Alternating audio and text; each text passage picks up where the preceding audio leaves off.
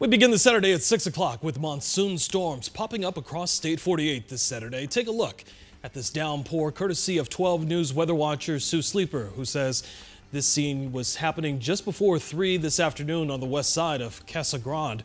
The wind blowing those chimes and also whipping the rain around as well.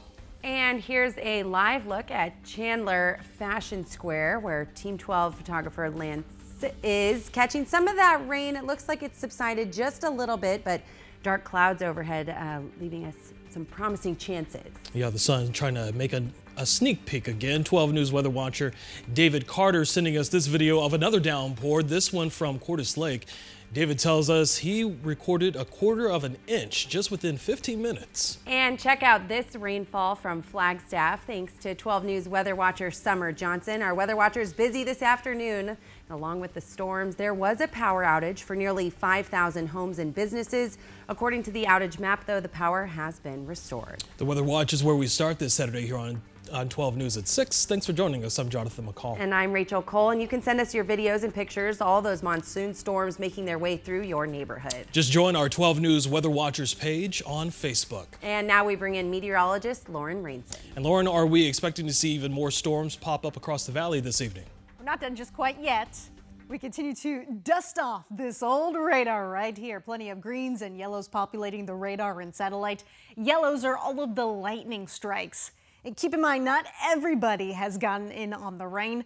The majority of us just east of the valley, Casa Grande to Santan Valley, the Queen Creek areas, and Florence. We got hammered not that long ago, and that's all lifting to the northeast, even to the northeast of Globe right now. That's where these stronger thunderstorms, they continue to put out 40 to 50 mile per hour wind gusts. And now Show Low, you are tapping into some of that rain right now.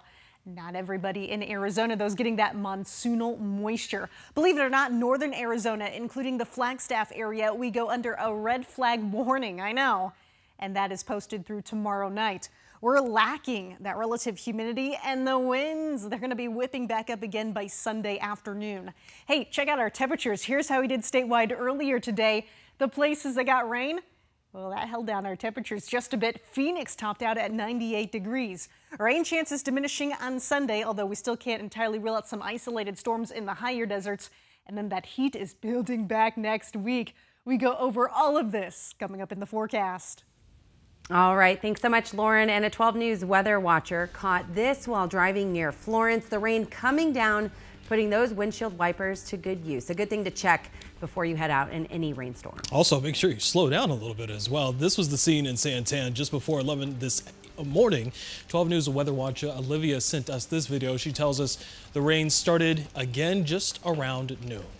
And you can text the word monsoon to 602-444-1212 right now, and you'll receive important information about monsoon 2022. Again, text, don't call monsoon to 602-444-1212.